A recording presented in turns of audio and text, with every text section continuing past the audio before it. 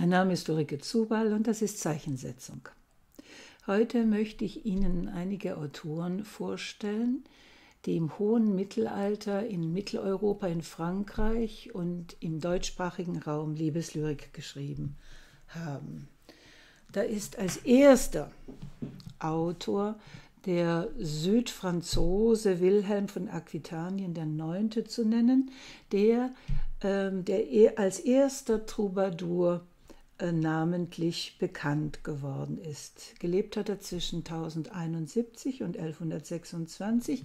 Also in diesem Jahr würde er seinen 950. Geburtstag feiern und man würde seinen 895. Todestag begehen können. Wilhelm IX. von Aquitanien war Herzog von Aquitanien, der Gascogne, und der erste namentlich bekannte Dichter, der in einer romanischen Volkssprache gedichtet hat. Er war der Urgroßvater Eleonoris von Aquitanien, die in zweiter Ehe Heinrich II., den englischen König, geheiratet hat. Und er war der Urgroß, Ur, Urgroßvater von Richard Löwenherz und Marie de Champagne, die an ihrem Hof äh, viele Troubadoure und Trouvers und Autoren des sogenannten höfischen Epos empfangen hat, darunter der berühmte Chrétien de Troyes, der als der Erfinder der Geschichten um die Tafelrunde des Königs Artus gilt. Ähm, von Wilhelm von Aquitanien sind elf Lieder überliefert. Darunter sind zum Teil vulgäre Lieder, die sind sehr deftig, sehr angeberisch, vor allem die männliche Potenz, mit ihr wird angegeben. Es gibt ein Gedicht, wo er beschreibt, in dem er beschreibt, wie er mit zwei Frauen gleichzeitig vögelt. Man kann es gar nicht anders sagen. Das ist ein sehr, sehr deftiges Gedicht. Und dann andererseits auch Gedichte, die in der neuen höfischen, äh, im neuen höfischen Liebesideal geschrieben worden sind. Wilhelm von Aquitanien war einer der mächtigsten Fürsten seiner Zeit, mächtiger als der französische König. Ein Mann, der im Kampf äh, bestehen konnte, der am kleinen Kreuzzug von 1101 teilgenommen hat, ähm, dabei bis nach Jerusalem gekommen ist, dann in einem zweiten Kreuzzug nach Spanien zwischen 1120 und 1123 diese Lande bereist hat und da in beiden wohl auch in Kontakt kam mit der andalusischen Liebeslyrik, der orientalischen Liebeslyrik ganz allgemein. Er war ein heißblütiger Typ, so wird er beschrieben. Es gibt viele Liebesgeschichten von ihm. Er hat Ehebruch begangen mit einer Langereuse de l'Île Bouchard, das war die Ehefrau eines seiner Vasallen. Äh, und ihre Tochter hat er mit seinem eigenen Sohn vermählt, nämlich Wilhelm X., dem Vater der oben erwähnten Eleonore von Aquitanien. Gegen Ende seines Lebens hat er dann Gewissensbisse bekommen und ein großes Schuldbewusstsein entwickelt und sehr reumütig auch Texte geschrieben. Ich werde Ihnen in der nächsten Sitzung ein Gedicht von ihm vorlesen, das heißt, Gefährten, ich werde ein Lied machen, das passend sein wird. Das ist ein ganz berühmtes Lied von ihm. Und in dem geht es um Liebe, Freude und Jugend. Das sind die zentralen Begriffe der Troubadour-Lyrik ganz allgemein geworden. Amor, Joie und Joven. Und er vergleicht seine Art zu lieben mit der Liebe zu zwei Frauen. Ähm, und diese zwei Frauen wiederum vergleicht er mit zwei wunderschönen Pferden. Also das ist eigentlich schon ein ziemlich deftiges sexuelles Bild, was er da wählt, eben das Reiten, ähm, was hier ähm, als Bild für hm, das Liebemachen gewählt wird. Und die eine Form der Liebe, die eine Frau, das ist eine, die aus den Bergen kommt. das schnellste, wildeste, ungezähmteste Pferd ist, scheu, ungebändig und ein Pferd, eine, das sich gegen ihn wehrt, dass er seinem Willen nicht ähm, unterwerfen kann. Das andere Pferd wieder, das ist ihm sehr bekannt, das wächst diesseits der Berge auf, in Aquitanien, ist wunderschön und das kennt er von klein auf und auf dieses Pferd wird er nie in seinem Leben verzichten, sagt er. Und diese beiden Pferde ähm, vergleicht er nun mit zwei Damen, die er liebt. Das äh, Furchtbare für ihn ist, dass die, eines der beiden Pferde das andere nicht neben sich duldet. Also diese Art zu lieben, diese Arten zu lieben, schließen sich äh, gegenseitig aus. Und äh, wenn man nun dieses Gedicht ganz allgemein ansieht als ein Abbild der Veränderung, äh, wie es das Lie Verstehen von Liebe um diese Zeit kennzeichnet, da sieht man, dass von jenseits der Berge aus Spanien eine Form der Liebe kommt, die fremdartig ist, die interessant ist, aber die die Frauen auch als ungebärdet un, ähm, Ungebärdigte äh, charakterisiert als Frauen, die man sich nicht leicht unterjochen kann, die sich einem widersetzen. Und während die alte Form, das ist die, die keine Probleme macht und die nicht sehr anstrengend ist und die man einfach deswegen sehr, sehr schätzt. Und so scheint dieses äh, Gedicht ein Abbild der, des Prozesses zu sein, des Überganges von der alten Form, einer problemlosen ähm, Begegnung zwischen Mann und Frau zu einer doch äh, Begegnung, die vom Mann dann auch sehr viel abverlangt, nämlich dann, äh, wie die seinen Nachfolger in der Troubadour-Lyrik zeigen werden, einen Triebverzicht. Den zweiten französischen Autor, um den es dann äh, beim nächsten Mal, den Sie zu Gehör bekommen werden, ist Geoffrey Rudel. Gelebt hat er zwischen 1100 und 1147. Er war ein Prinz de Blé aus dem Departement Gironde und dieser Geoffrey Rudel liebte die Prinzessin von Tripolis. Und das Verrückte ist, dass er sie nie kennengelernt hat. Er liebte eine La Dame Lointaine, die weit entfernte Dame. Also eine Fernliebe war es. Und diese Fernliebe hatte ihn gepackt zu Melisande, der Urenkelin des Toulouser Grafen Raymond IV., der das Fürstentum Tripolis im ersten Kreuzzug im Heiligen Land gegründet hat. Und diese Dame verehrt Geoffrey Rudel so stark, dass er schließlich sich entschließt, auf einen Kreuzzug zu gehen, und dort soll er angeblich in ihren Armen gestorben sein Sie habe ihn dann in der Niederlassung der Tempelritter bestatten lassen und selber sei sie als Witwe in ein Kloster eingetreten. So will es die Legende um diesen Troubadour. Und das ist wieder mal ein schönes Beispiel dafür, wie das Leben der Troubadoure selbst märchenhaft, romanhaft geworden ist. Äh, von ihm werde ich Ihnen ein Gedicht vorlesen, das heißt, wenn die Tage lang sind im Mai. Und in diesem Gedicht wird nun diese neue höfische Fin-Amour ähm, äh, beschrieben. Es ist eine Liebe, die jetzt im Mai stattfindet, wenn die Vögel singen und der Blütenzauber über die Welt sich ausstreut. Es ist also vollkommen neues Repertoire, was da in dieser Liebeslyrik ähm, zu Wort kommt. Und dort wird diese Un amour de loin beschrieben, eine Fernliebe zur La Dame Lointaine. Liebe muss auf die körperliche Erfüllung verzichten, sie muss Triebverzicht leisten, ganz einfach deswegen, weil zwischen Liebendem und Geliebter eine räumliche Distanz besteht.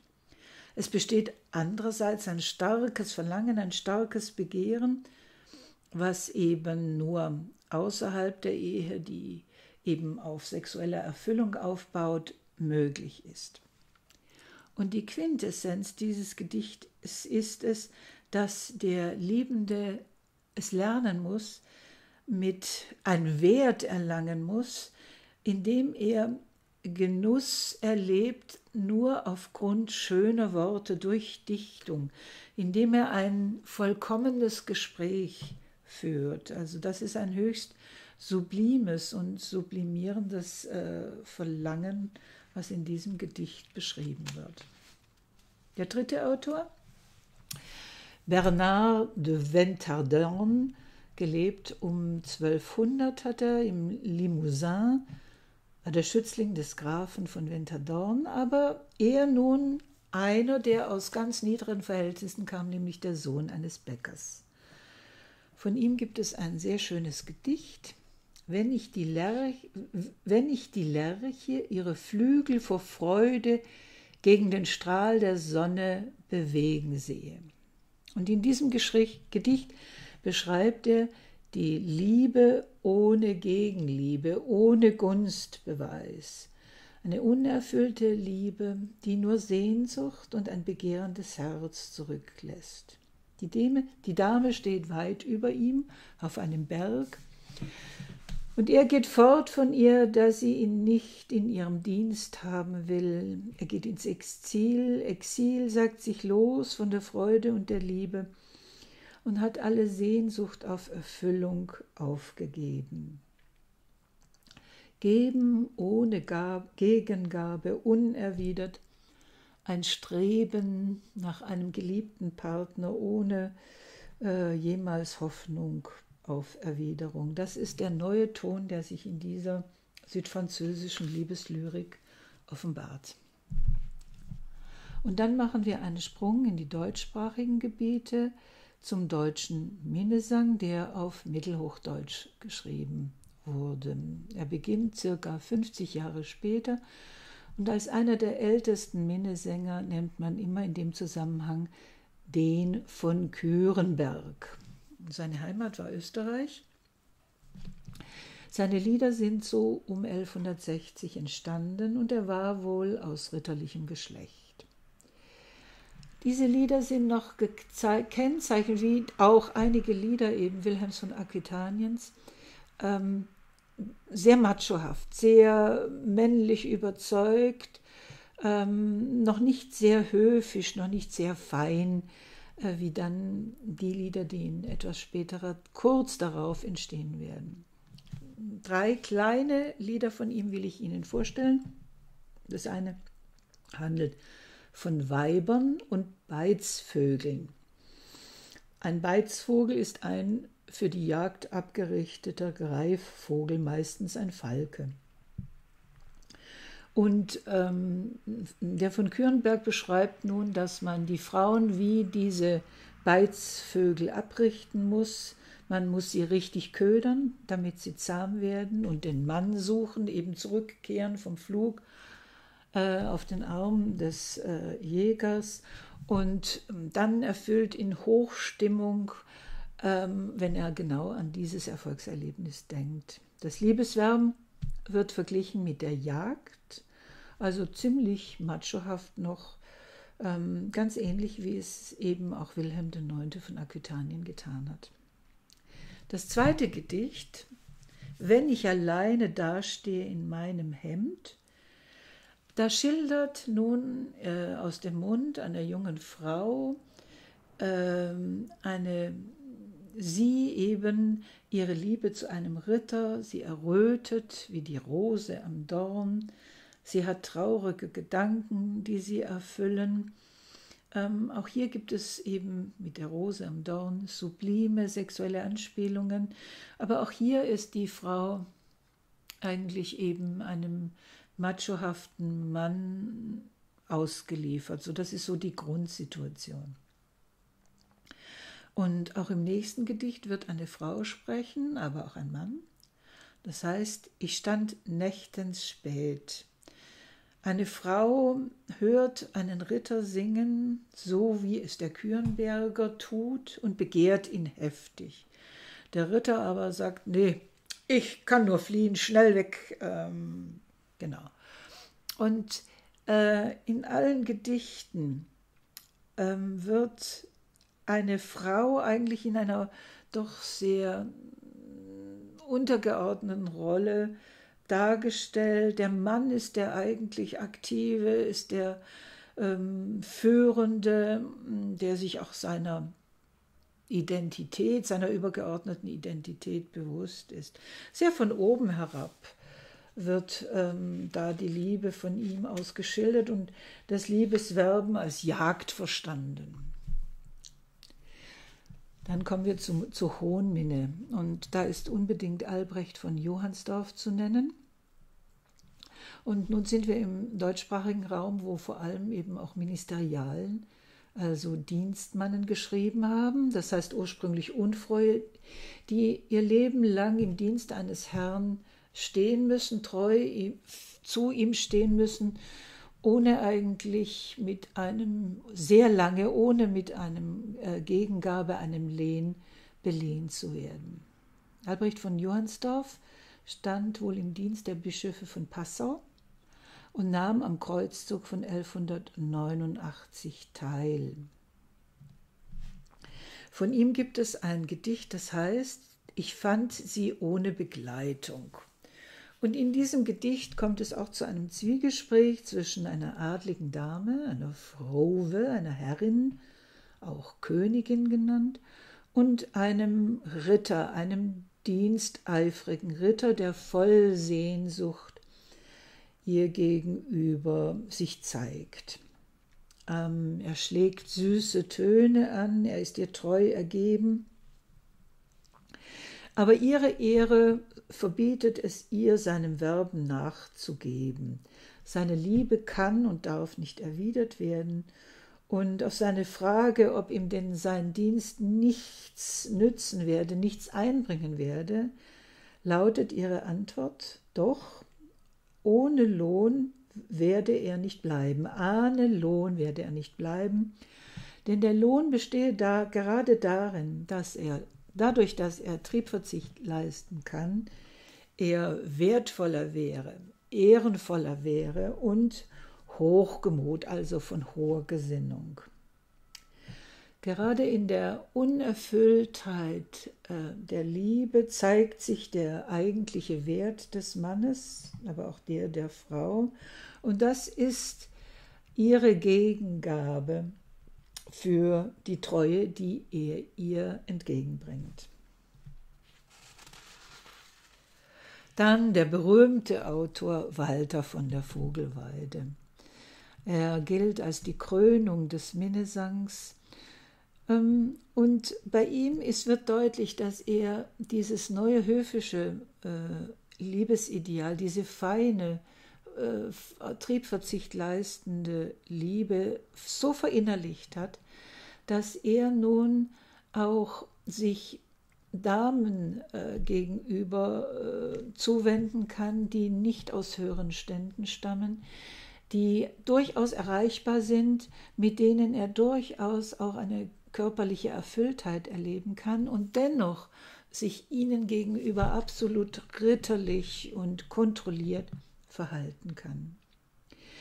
Von Walter von der Vogelweide wissen wir relativ wenig. Gelebt hat er so um 1170 bis circa 1230. Man weiß, dass er am 12. November 1203 einen Geld geschenkt bekommen hat für einen Pelzrock, und zwar vom Bischof von Passau. Er war wohl Ministeriale. Schon zu seiner Zeit wird Walter von der Vogelweide als großer Lyriker gefeiert, der eben auch Kreuzzugslyrik, politische Lyrik geschrieben hat.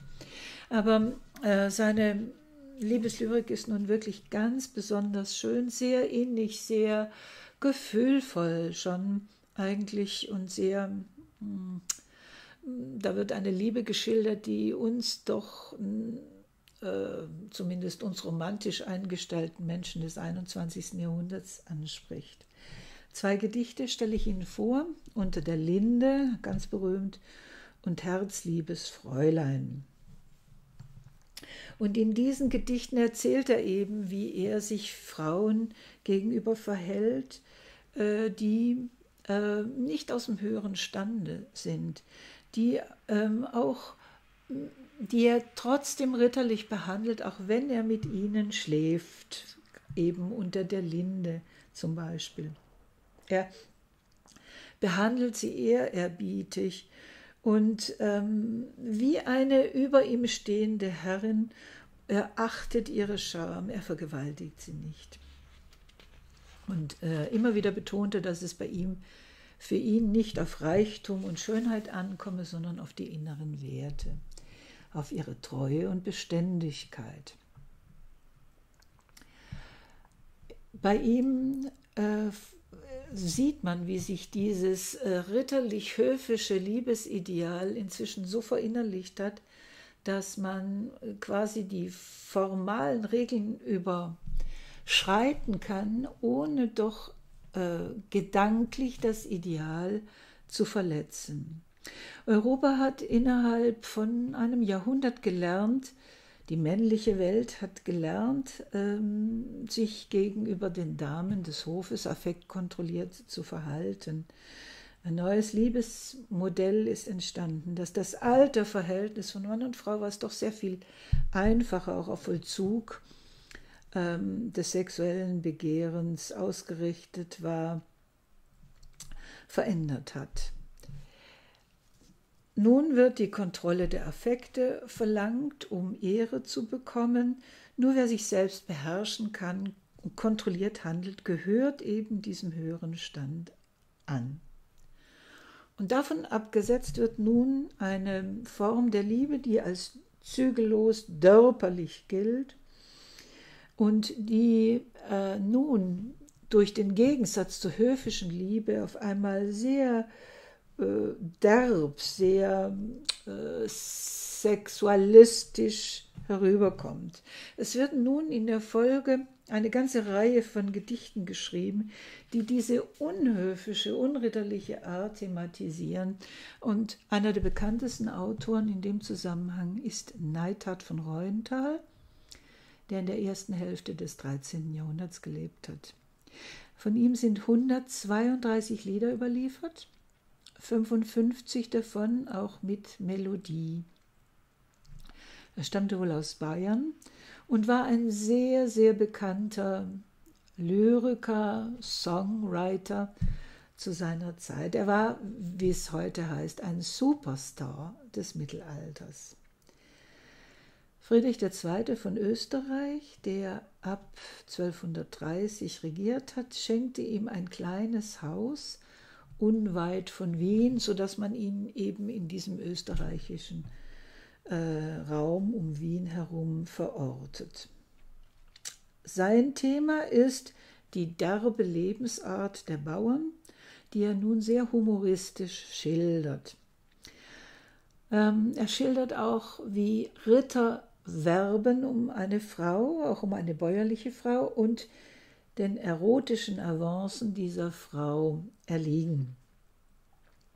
In der Folge ähm, wurden Lieder in seinem Stil gedichtet und man nannte sie die Neidhardt-Lieder.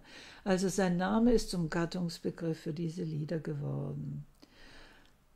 Seine Lieder sind so berühmt geworden, dass im Spätmittelalter äh, in Schwenken und Spielen thematisch äh, verarbeitet wurden. Ich lese Ihnen ein Gedicht vor, in dem es unter anderem auch um, um den Gimpel-Gampel geht. Und in diesem Gedicht wird der Ritter Reuenthal, also er selbst, ausgestochen von einem anderen Ritter, der eine Herrin, eine Frowe, hinter der der Reuenthaler her ist, im Wald zu Fall bringt und das auf eine sehr derbe und drastische Art und Weise. Also diese Autoren werden Sie das nächste Mal im O-Ton hören und ich hoffe, es macht Ihnen Spaß und Freude.